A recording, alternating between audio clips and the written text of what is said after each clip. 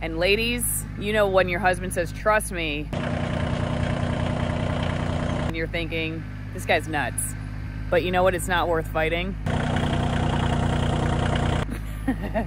you know.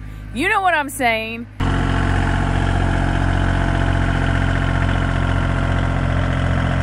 Anyway, he was right. Lynn's like, hey, let's try the tractor for the first time instead of pushing the hay roll off of the tailgate, which is what I have been doing. And I'm thinking there's no way that hay is going to balance on the bucket of that tractor. But he said, trust me. So let it be recorded here on this YouTube video. He was right. You were right, Lynn. It worked. Okay?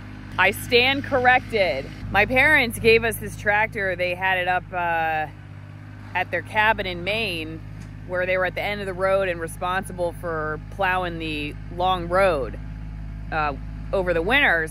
The, the county didn't maintain it and they don't need it anymore so they gave us a tractor and it has been really nice having a tractor i mean i wouldn't say having a tractor is a necessity at all for hobby farming at our scale but it just speeds up the process of what you're able to do like we were able to work on adding more dirt below the gates to keep the goats from getting out which still is a complicated challenge and the goats continue to defy all of our best practices of containment but the tractor at least speeds up the battle that we're having with them to figure all this out. And so it's been really nice. We could never have afforded this on our own.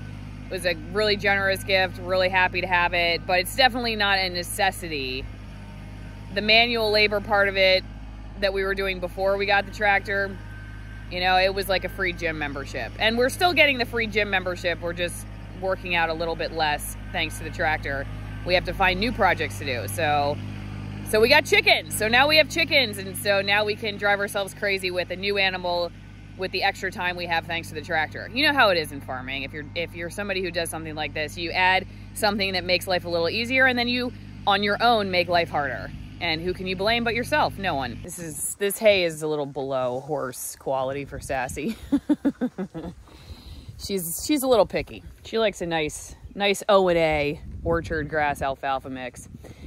But the cows do not get do not get that quality. Anyway, I'm hoping hay season is hay season is about to be over and that the spring grasses will be in fully by the time they finish this roll until we can cut hay for a little while and save save the pocketbook. Hay has been so much more expensive here in Florida than it was in Washington State. When we lived in Washington State, we got extremely high quality hay locally for probably half the price of what we pay here. And that's because here they import the hay from Washington State.